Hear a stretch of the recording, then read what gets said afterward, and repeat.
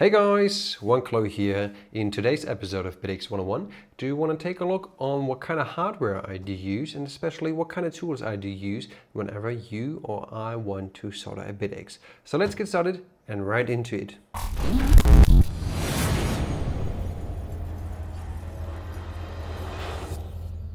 So as you can see, we're currently taking a look on my messy desk and uh, yeah, please ignore the mess in the background. We do have a couple of tools here in front of us and this will be the topic of today's episode, as well as a big soldering station here to the right.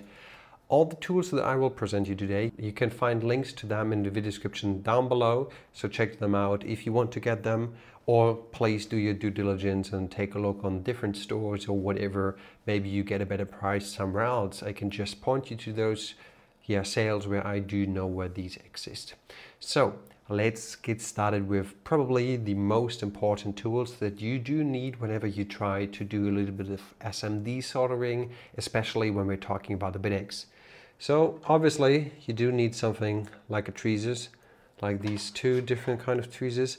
I do have one that does have this uh, yeah, kind of wick here in front uh, it's just some ordinary tweezers, nothing special about them. They usually come with some sort of repair kit or do-it-yourself kit. Um, if you do order yourself some sort of an iFixit kit or something like this, if you want to repair your phone, you usually do get them for free in there as well. Uh, so I'm not sure if I'm really willing to put a link to anything like that in the video description down below. There's nothing special about them.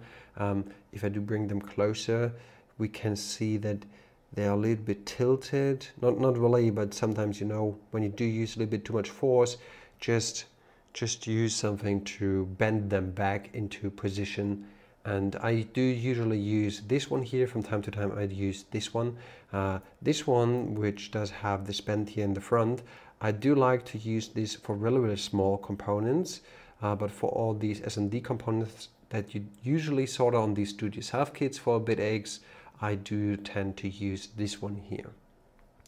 So obviously you do place all the components with this stuff. Uh, I also do have a scissor here, which I primarily use just to cut this tape. And uh, this tape that I do use here is some electrical tape that I just basically used for every kind of project that I'm working on, especially when, when we're talking about electronics where you need to isolate cables and stuff like this. It's basically just from Amazon or from the hardware store next by. So just pick them up there. There's nothing really special about this. And obviously scissor, uh, usually everybody should have something like that at home. Uh, something that I do like to use are these small non-sharp syringes here that I do have.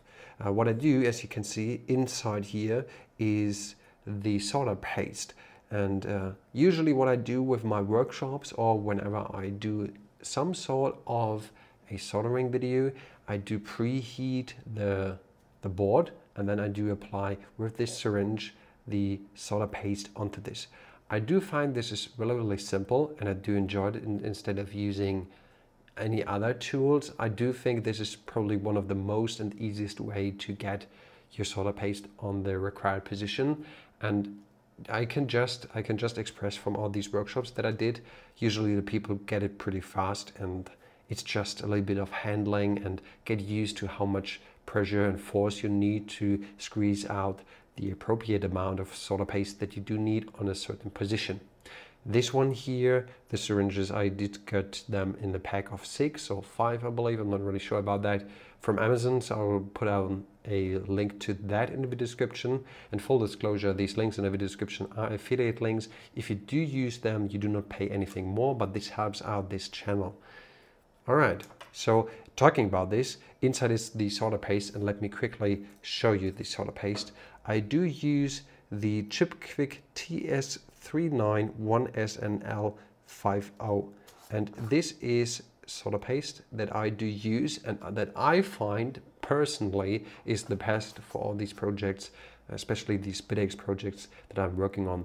I do order this from Eleshop and I will put down a link to Eleshop in the description down below. I'm not sure if they're from the Netherlands or Belgium, somewhere there, but this solder paste is just brilliant. If you can find this somewhere else, just just Google for this. Chipquik TS391SNL50. This is perfect. It does the job perfectly and it is just the best that I could use. I tried out a couple other ones. Let me quickly grab that from a pack here. I do have a cheap one that I ordered from Amazon. This was the first solder paste that I really ever used. Uh, it's not that good. It does have a really, really low melting point and therefore when you do place a couple of components and solder them on and you then preheat another section, the chance of actually making this one here at another position uh, like a fluid again is pretty high. So this is not really recommended. Uh, so therefore I will no longer use this. I used this in one of my first videos about, about a Bitaxe, but this Chipquik here is just brilliant. It's kind of expensive to be honest, but it is worth the money. That's literally, it's worth the money. All right, speaking about soldering, it might be that you do have an issue from time to time, and it might be that you have messed up something or I don't know, like soldered the bridge between two legs of a component or soldered way too much on there. You really need something like a desoldering wick. This here is also from a hardware store nearby. It's just a desoldering wick. Uh, I mean, I can put a link to that in the description down below as well. It's just try to find this somewhere. It's yeah, it's just a desoldering wick. I'm sorry if I'm not really entertaining you about all these tools, but I'm, I'm trying to be as representative here on all these tools as I can be in order to give you the best advice, uh, which is do your own due diligence and search out for this. So with this desoldering wick, you can use this to remove solder from a certain position where you might have issues or where you might have created a solder bridge. And speaking about solder bridges, in one of the future videos of the Bitaxe 101 series, will I show you what you can do if you do have any issues soldering and how you can resolve them. Speaking about these issues, this brings me over to something that I do have here, which is flux. And flux is really, really handy whenever you solder something on, especially with solder paste. There is a point where the solder paste no longer wants to make connections or stuff like this. You just apply this here, and this is in this sort of hard format. It does give, it does exist in like a liquid form and, and stuff. I just use this one here, and then I usually do have uh, a tool from iFixit. It, it looks like a really, really small spoon that I do use and then I just apply it on the board. Uh, but I do recommend you, when you order yourself a desoldering wick, get a little bit of flux. It's really helping, especially use a little bit of flux on the desoldering wick and then all the excessive solder paste will apply to the wick. Then you can just clip off the wick and there you go, you remove the issue. Obviously for the Bitaxe I usually do have different sorts of stencils, especially for the ASIC. Uh, I used to solder them by hand. It was hell of a mess and it took really, really long. With stencils, you really have no issues as long as you do follow the rules for applying a stencil and applying the appropriate amount of pressure. Speaking about stencils and yeah, just fixing stuff on there, you might come into the situation where you do have the issue that your board looks like a mess. And for that, I do have an old toothbrush. And in here, this bottle uh, is just an ordinary bottle that I do use. When you squeeze it, uh, the liquid will go up here and out on the front. Inside there is isopropanol alcohol and that's what I do use in order to clean up these boards. So I just spill in a, lot, a little bit of this alcohol and then I do use the toothbrush and just rub it gently so that it looks clean afterwards and just wipe it off. I do always have a little bit of thermal paste or thermal grease, however you want to call this. And yeah, you do need this to make a good thermal conduction uh, connection between the heatsink and the ASIC chip itself. So do remember that you also need something like this when you want to solder your own Bitaxe. Lastly, let's talk about the biggest thing here on the desk. And this is this soldering station. So this is basically like a really, really cheap Amazon soldering station. This probably costs like 30 to 50 bucks. Uh, I will put down a link to this in the description as well if I would make a recommendation, I would say go for something that is a little bit more high on quality. These do function and I do use them on 355 degrees Celsius. as you might see here 355 degrees Celsius good thing about them is if you do put them back into their slot uh, after certain seconds they drop down in the temperature because they then no longer heat up they cool down uh, it's it's okay. I do use these kits in my workshops because I got them sponsored.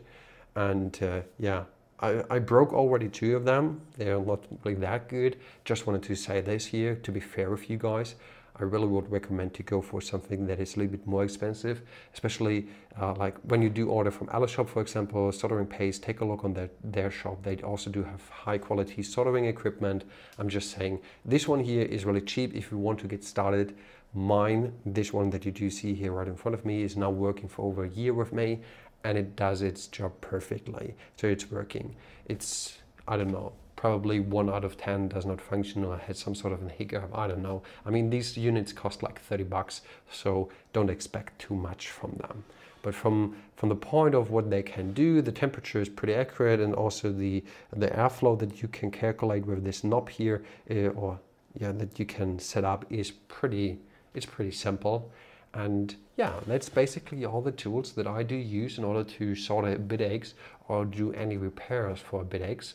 And I do think it's really helpful to get an overview of what you need when you want to solder your own Bitaxe. Obviously, I'm not talking about any parts that you do need for the Bitaxe itself. This is just the tool episode about the Bitaxe and soldering SMD components in general. This does not only apply to a Bitaxe specifically, it's more of a general guide on what kind of tools you do need if you ever want to do something like SMD soldering. And with that, I do thank everybody of you for watching this, viewing in here. If you do like this video, consider subscribing and giving me a thumbs up so I do know that you guys do enjoy this content and I can produce more about this or more like this. So thanks for watching and see you in the next one.